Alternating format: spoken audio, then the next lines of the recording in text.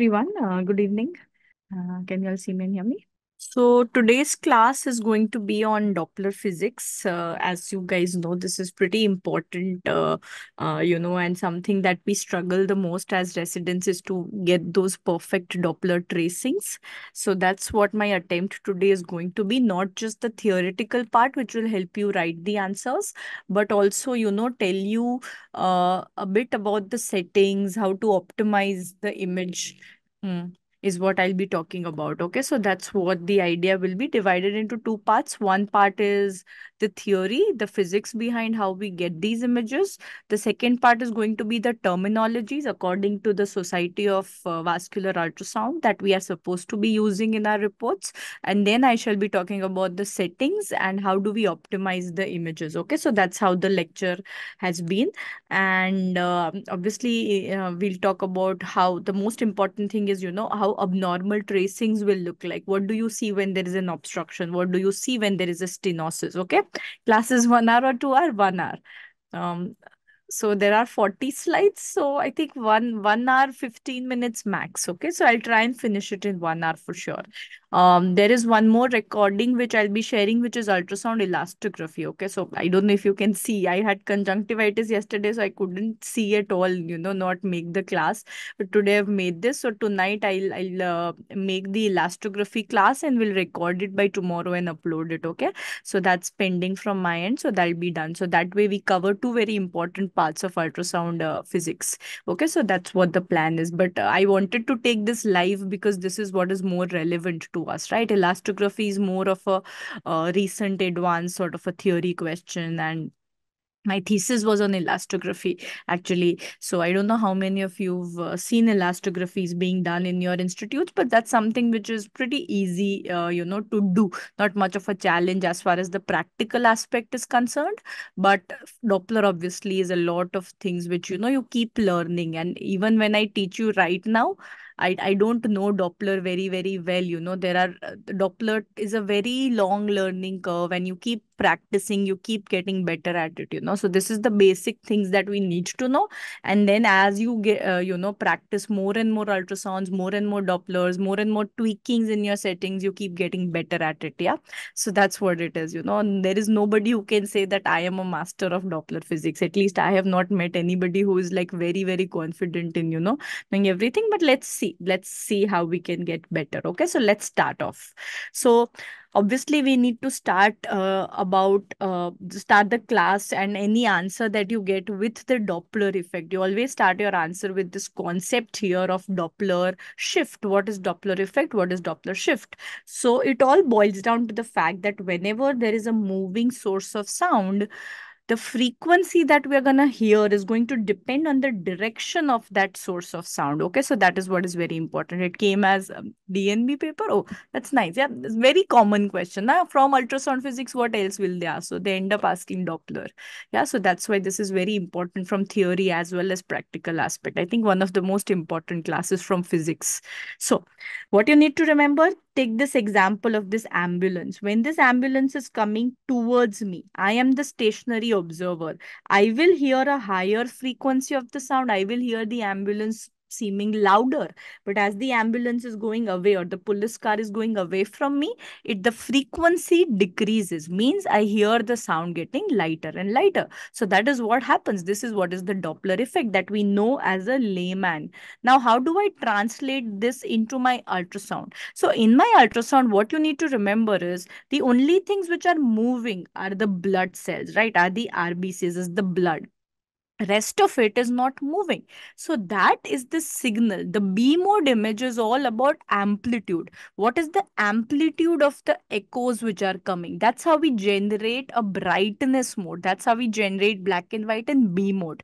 When it comes to doppler everything has the same amplitude. Now i'm not concerned about amplitude. Now i'm concerned about frequency. Yes that's the fundamental difference which is frequency. You understand? Frequency is this there's amplitude is this. So amplitude comes into play in b mode. Frequency comes into play in doppler. That's what you need to understand. So if you have to define it, this is the first line that you will write. It's the change in the frequency of sound waves, which is occurring because of the motion of a sound source. Now come to this. Again, this is what I would love if you could write this. You know, if you can draw this sort of an image in your paper, it will really get you good marks. Always draw schematics, um, you know, flow charts. All of these things are much better than writing a prose format of the answer. That's something that you need to learn, right? All of these images that we use in the classes, try and, you know, use them in the actual exam. That really helps. So what you need to remember when there is a stationary target, the transmitted frequency and the received frequency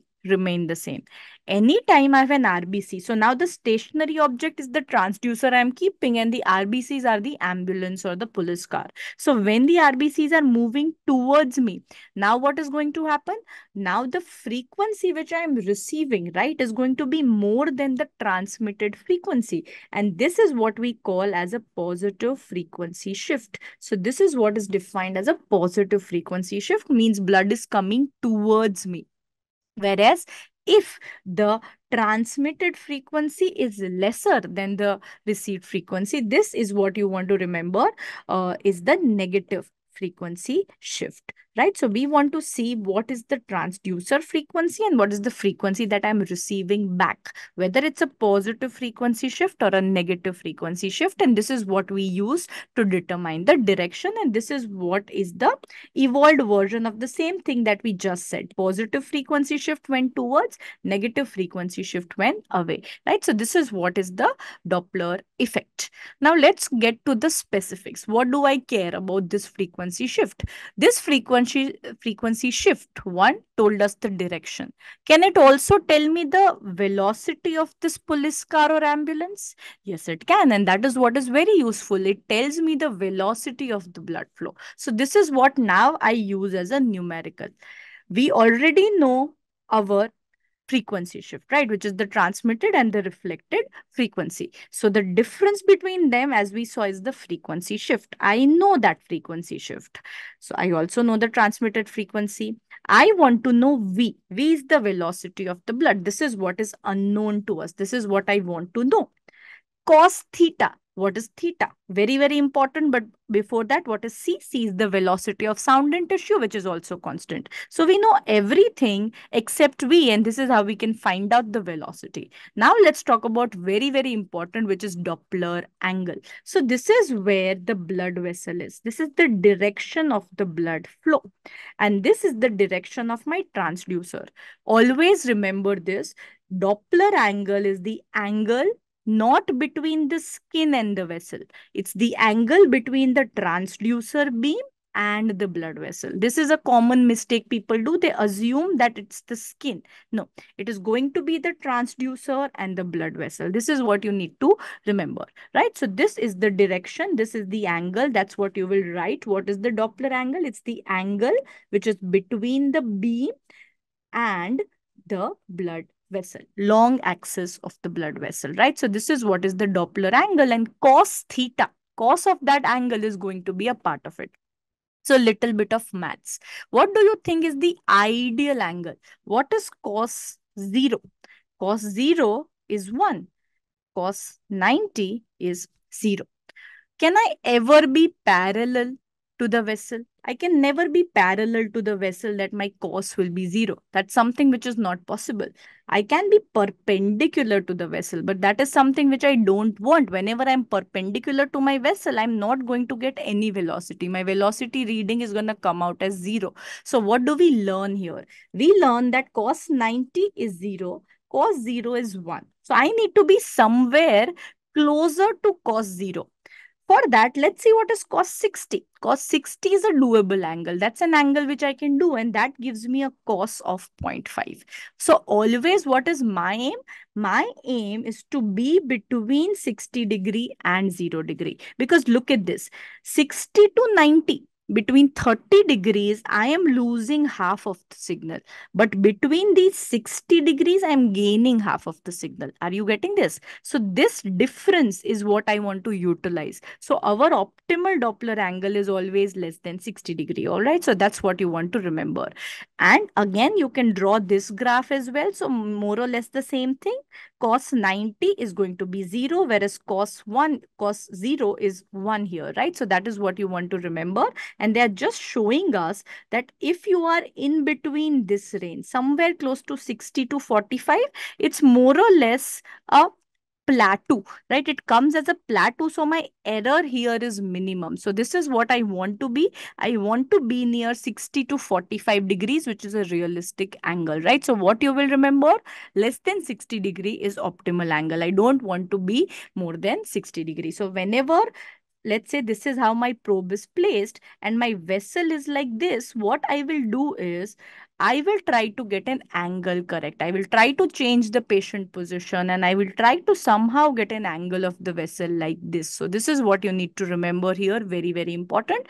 As the Doppler angle increases, error is greater. As the Doppler angle decreases, the error is minimum. So just to give you an example,